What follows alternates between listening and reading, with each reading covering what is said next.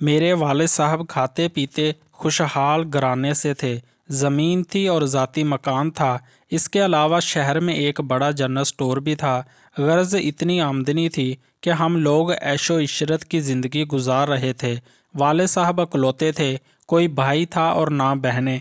दादा दादी वफात पा चुके थे। अम्मी ने इनसे पसंद की शादी की थी। इसलिए ददयाल वाले अम्मी से किता ताल्लुक़ कर चुके थे। करीबी रिश्तेदारों का साथ ना होने के बावजूद अम्मी जान खुशो खुरम ज़िंदगी गुजार रही थीं। इन्हें अपने ख़ानदान से अलग हो जाने की कोई परवाह नहीं थी, क्योंकि शोहर की मोहब्बत से दामन भरा हुआ था। वक्त सदा एक सा नहीं रहता। वाले साहब का अचानक एक्सीडेंट में इंतकाल हो गया। इन दिनों हम सारे बहन भाई कमसन थे और स्कूल में पढ़ रहे थे। हम छः बहन भाई थे। मैं सबसे बड़ी थी और मैट्रिक की तालबा थी। बाकी छोटी क्लासों में थे। जब मेरी अम्मी पर बेवा का पहाड़ टूटा तो वह सदमे से निडाल होकर बिस्तर पर पड़ गई। अब मुझी को घर देखना था और तालीम भी मुकम्मल करनी थी। इन दिनों मेरी उम्र सोलह बरस थी, मगर मैं अपनी हम उम्र लड़कियों से ज़्यादा बाशूर थी। मुझको घर के हालात और वालदा के दुखों का एहसास था। आम लड़कियों से मुख्तलिफ़ थी। मैं अपनी वालदा को तसल्ली दिया करती कि माँ, घबराओ नहीं, मैं आपकी बेटी नहीं, बेटे जैसी हूँ। बस मुझे तालीम मुकम्मल कर लेने दो, फिर सब दुख दूर हो जाएँगे। माँ को मेरी ढारस से बहुत सुकून मिलता था। दर हकीकत मेरे सवा कोई दूसरा इनको डारस देने वाला था भी नहीं। वो समझने लगी थी कि वाक्य मेरी ये बेटी घर के दुखों का मदावा बनेगी। मैंने सोच लिया था कि शादी नहीं करूँगी जब तक मेरे भाई कमाने के लायक ना हो जाएँगे, सिर्फ़ पेट का दोजख ही नहीं भरना था। अपने बहन भाइयों को पढ़ाना भी था। वाल साहब के एक मुखलस दोस्त इस बुरे वक्त में बहुत काम आए। मेरे भाई अभी छोटे थे, वो अब्बू का स्टोर नहीं चला सकते थे। अंकल वाहद ने वो जनरल स्टोर अच्छे दामों हमसे ख़रीद लिया और रुपया बैंक में अम्मी के नाम डलवा दिया। इस तरह हमारा गुजारा होने लगा। जिस साल अबू फौत हुए, मैं मैटर का सालाना इम्तहान ना दे सकी, क्योंकि अम्मी जहनी परेशानी का शिकार होकर बीमार पड़ गई थी। घरेलू मसाइल और इसकी देखभाल करने वाला भी कोई ना था। अंकल वाहद से मैंने ही रबता किया, क्योंकि जनरल स्टोर बंद पड़ा था। एक साल ऐसे ही मसाइल समेटते गुजर गया। जरी ज़मीन से आमदनी आना बंद हो गई। ज़मीन पर जो शख्स मुख्तार कार था, वो मालक बन बैठा। सारी पैदावार खुद रख लेता था। इसका मुकाबला कौन करता? इधर से आमदनी का आसरा भी जाता रहा। साल बाद दोबारा पर्चों की तैयारी करके मैंने मैट्रिक का इम्तिहान दे दिया। जी चाहता था कि कॉलेज में दाखला ले लूँ, मगर अभी हालात इजाज़त ना दे रहे थे। पढ़ाई को ना चाहते हुए भी छोड़ना पड़ा। मुलाजमत की तलाश करना पड़ी क्योंकि इतना वक्त नहीं था कि पहले मैं ग्रेजुएशन करूँ, फिर भाई पढ़ें। इस वक्त फौरी तौर पर माशी हालात पर काबू पाने की ज़रूरत थी। छः माह तक भाग दौड़ करके देख लिया भला मैट्रिक पास लड़की को क्या मुलाजमत मिलती थी। एक सहेली के अब्बू से मुलाजमत के लिए कहा तो इन्होंने मशवरा दिया कि बेटी ऐसे मुलाजमत ना मिलेगी। तुम्हारी तालीम कम है, पहले एफ़ए कर लो और फिर नर्सिंग ट्रेनिंग ले लो। इस तरह तुमको किसी अस्पताल में नौकरी मिल जाएगी। मैंने इनका मशवरा मान लिया। जो तो करके एफ़ए पास कर लिया। इस दौरान अम्मी की तबीयत संभल चुकी थी और वो घर और बच्चों की देखभाल करने के काबिल हो गई थी। एफ़ए के बाद मैंने एक सरकारी अस्पताल में नर्सिंग की क्लास में दाखला ले लिया, जहाँ यूनिफॉर्म, रिहाइश खाना और वजीफ़ा भी मिलता था। इस तरह मेरा कोर्स करना आसान हो गया। जिन दिनों मैं नर्सिंग कोर्स के दूसरे साल में थी, मेरी वाकफियत एक डॉक्टर से हो गई। इसका नाम यूसुफ था। डॉक्टर यूसुफ नए नए इस अस्पताल में तैनात हुए थे। ये शख्स पिशावर का रहने वाला था और काफ़ी खूबसूरत था। जब इसके साथ वक्त गुजरना शुरू हुआ तो वो भी मेरे तस्वुर में रहने लगा। अब मैं ज़्यादा वक्त इसके साथ गुजारने की कोशिश करती। इसकी और मेरी ड्यूटी अरसा तक एक ही वार्ड में रही।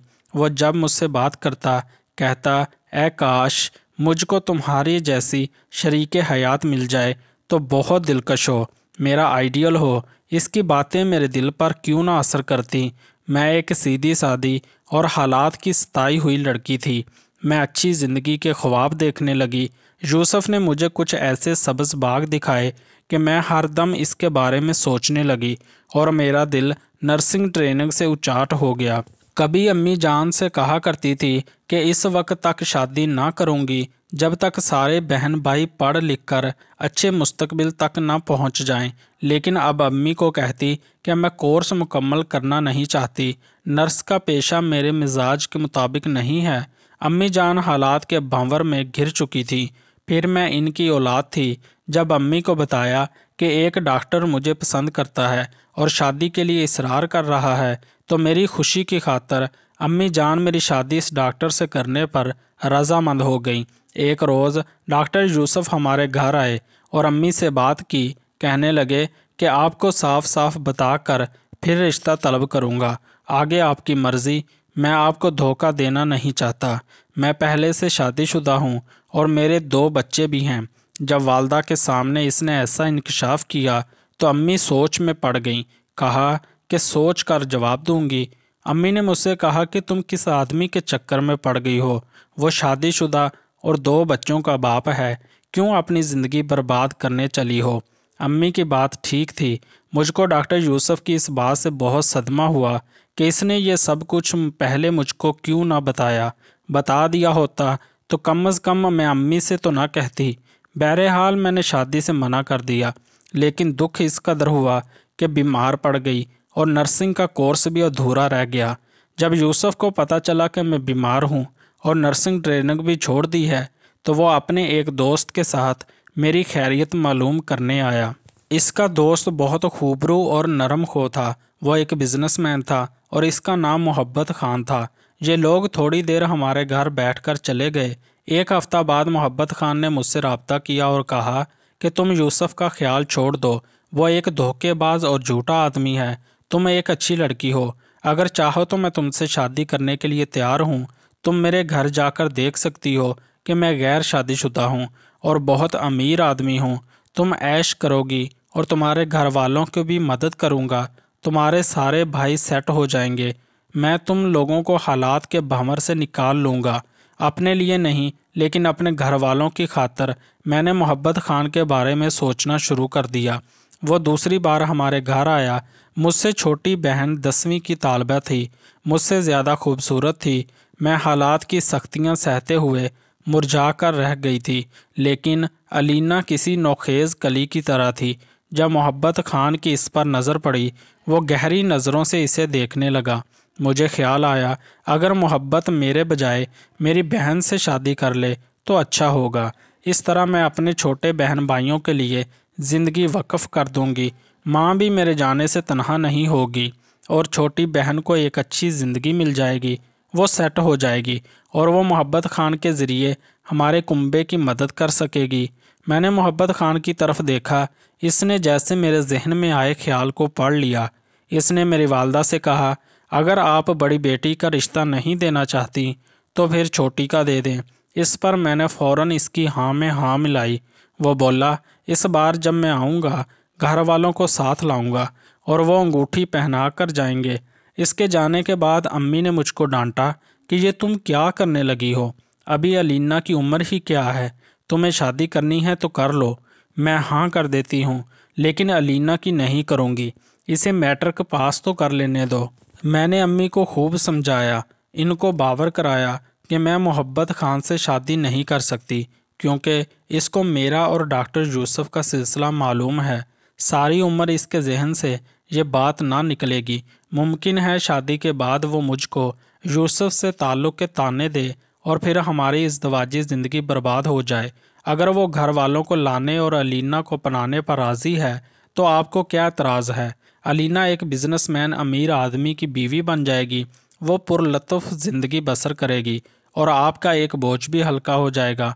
सोचिए ज़रा, क्या इन हालात में कोई दूसरा अच्छा रिश्ता आपकी किसी बेटी के लिए आ सकता है? गर्ज ऐसी बातें करके अम्मी को राज़ी किया। वो बेचारी इस मामले में किसी से मशवरा भी ना ले सकती थी। हमारे आसपास कोई दाना हस्ती थी ही नहीं। जब घर में मर्द ना हों और औरतों को ही फैसला करना पड़े, फिर ऐसे ही फैसले होते हैं। इस हफ़्ते मोहब्बत खान दो खवातीन के हमरा आया। इसने इनमें से एक औरत को अपनी वालदा और दूसरी को बहन बताया। वो लोग मिठाई और अंगूठी भी लाए थे। अलीना के रिश्ते के लिए हाँ करने में अम्मी से ज़्यादा मैं पेश पेश थी। गर्ज के इन्होंने मोहब्बत खान के नाम की अंगूठी, अलीना की उंगली में पहना दी और रस्म करके चले गए। शादी के लिए एक माह की मुद्दत का इसरार किया। जब अम्मी ने उज़र किया कि अभी तैयारी करनी है, लड़की के लिए चंद जोड़े कपड़े बनाने हैं। इन्होंने कहा कि हरगिज़ आपको किसी किस्म का तकल्लुफ़ ना करें।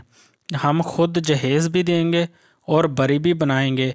जेवर भी दोनों तरफ़ का हम ही चढ़ाएँगे। वालदा खुश हो गई कि शादी का तमाम खर्चा लड़के वालों ने अपने ज़िम्मे ले लिया है। जब शादी की तारीख मुकर हुई तो मोहब्बत खान ने बताया कि इनके एक करीबी अज़ीज़ की मौत हो गई है, लिहाजा शादी नहायत सादगी से होगी। इस तरह वो दस अच्छे जोड़े कपड़ों के लाए और जेवरात के दो सेट भी चढ़ाए और अलीना को नहायत सादगी से ब्याह कर ले गए। एक अहम बात बताती चलूँ कि इस सारे मामले की खबर यूसुफ को ना थी। मोहब्बत खान ने सख्ती से मना कर दिया था कि हरगिज़ इसको मालूम ना हो, वरना वो ये शादी ना होने देगा। वो मेरा दोस्त है, मैं इसको अच्छी तरह जानता हूँ।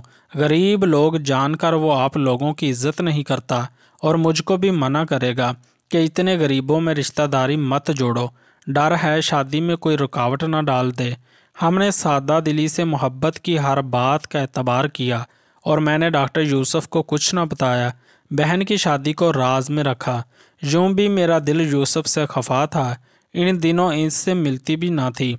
खैर, शादी के बाद ही मोहब्बत खान अलीना को लेकर पिशावर चला गया।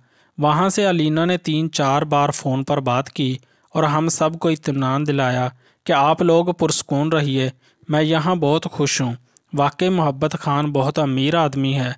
हम लोग बहुत जल्द हनीमून के लिए यूरोप जाने वाले हैं। एक हफ़्ता बाद अलीना ने फ़ोन किया कि आज हम रवाना हो रहे हैं हनीमून के लिए और मैं आप लोगों को एयरपोर्ट से फ़ोन कर रही हूँ। वो दिन और आज का दिन इस वाक़ को बीस बरस गुज़र चुके हैं। आज तक फिर कभी अलीना का फ़ोन आया और ना इसने रबता किया। न जाने वो कहाँ चले गए। मोहब्बत खान भी फिर कभी ना आया। जब अलीना के जाने के बाद छः माह तक इससे रबता ना हुआ तो मैंने डॉक्टर यूसुफ से रबता किया, तमाम अहवाल बताया तो वो परेशान हो गया। इसने कहा, तुमने मुझको पहले क्यों ना बताया? मैं हरगिज़ तुमको मोहब्बत खान से रिश्तेदारी ना जोड़ने देता। वो हमारे शहर का आदमी ज़रूर है, लेकिन वो एक स्मगलर था। वो अच्छा आदमी ना था। इसने इस तरह पहले भी दो तीन शादियाँ की थीं।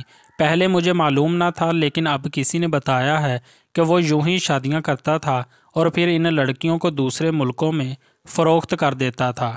यूसुफ की ज़ुबानी यह सुनकर मेरे पैरों तले से ज़मीन ही निकल गई। मैं मज़ीद तहसदीक की खातर इसके पास चली गई। इसने कसम खाकर कहा कि यह क्या है? मोहब्बत खान सिर्फ़ ज़रूरत के तहत इसके पास आ गया था। वो अस्पताल में अपने किसी अज़ीज़ का इलाज कराने आया था। जब मैं तुम्हारे घर इयादत को आने के लिए तुमसे फ़ोन पर बात कर रहा था वो पास मौजूद था। इसने फ़ोन पर बात सुनी थी। इस वक्त मेरे पास गाड़ी ना थी। इसने ऑफ़र को दी कि चलो मैं अपनी गाड़ी में ले चलता हूँ। लेकिन मैं नहीं जानता था कि इसके दिल में क्या है। अगर जानता कि तुमसे रिश्तेदारी हो जाएगी तो कभी इसको तुम्हारे घर लेकर ना आता। यूसुफ बेचारा हमारे लिए बहुत दुखी और परेशान हुआ था। इसने मोहब्बत खान का मालूम करने की भरपूर कोशिश की। अस्पताल से छुट्टी लेकर अम्मी जान को हमरा लिया और पेशावर ले गया। वहाँ से बस इतना मालूम हो सका कि वो अपने मोहल्ले से नकल मकानी कर गया है। ना मालूम कहाँ चला गया है। अम्मी अलीना के गम में रो रो कर अल्लाह को प्यारी हुई। मेरी बहन ऐसी गायब हुई कि फिर इसका पता ना चला कि ज़िंदा भी है कि मर गई। मोहब्बत खान लड़कियाँ बैरून मुल्क जाकर फ़रोख्त करता था। यकीनन इसने मेरी बहन को भी किसी दूर दराज मकाम पर फ़रोख्त किया होगा। अगर अपने मुल्क में होती तो किसी न किसी तौर पर भी वो रबता ज़रूर करती। इतनी मुद्दत इस मामले को गुजर चुकी है कि हम पूरी तरह मायूस हो चुके हैं। अम्मी वफ़ात पा गई हैं। छोटी बहन की शादी हो गई है। भाई भी पढ़ लिख कर अच्छा कमा रहे हैं। वो अपनी बीवियों और बच्चों के साथ खुशो खुरम ज़िंदगी गुजार रहे हैं। एक मैं हूँ कि जिसको अलीना के गम ने खा लिया है। वक्त से पहले बूढ़ा कर दिया है। अगर जानती कि मोहब्बत खान बर्दा फरोश है तो कभी अपनी मासूम बहन को इसके हवाले न करती। मैंने मोहब्बत खान से अलीना की शादी ये सोचकर कराई थी कि वो अमीर आदमी है। हमको गुर्बत के भंवर से निकालने में मददगार साबित होगा। शायद मेरे भाइयों को बिज़नेस करा दे। क्या खबर थी कि अलीना इस सोच की कुर्बान गाह पर कुर्बान हो जाएगी। सच है, बुरे हालात सिर्फ़ खुदा ही बदल सकता है। इंसानों का आसरा एक धोखा होता है और इस धोखे से जितना बच सकते हैं, बचें और कभी भी ज़िंदगी में बेटी का रिश्ता किसी लालच में ना करें। वरना बेटी के मरने पर तो सब्र आ जाता है, लेकिन ऐसे गायब हो जाने वाली लड़की के लिए पल पल मरोगे पल पर जियोगे कि न जाने किस हाल में होगी, कहाँ होगी, कितनी दुखी होगी ज़िंदा भी है या नहीं, एक ऐसी तकलीफ़ जिसको मैं लफ्ज़ों में बयान नहीं कर सकता। आप क्या कहते हैं इस बारे में? कमेंट बॉक्स में ज़रूर बताएँ और मज़ीद अच्छी स्टोरी देखने के लिए हमारे चैनल को ज़रूर सब्सक्राइब कर लें। शुक्रिया।